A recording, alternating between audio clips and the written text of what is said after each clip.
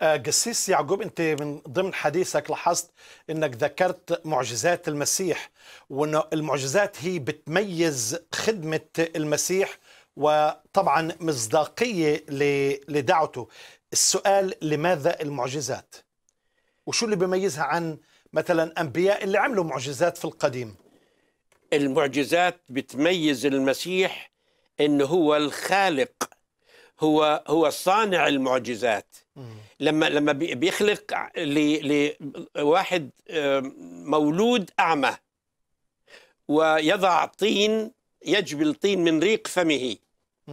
ويضع على عينيه ويقول له اذهب اغتسل ويذهب ال- الأعمى هذا يغتسل ويرجع آه، يعني فرجينا هنا بي- بي- بيعرفنا الكتاب إنه هذا خالق.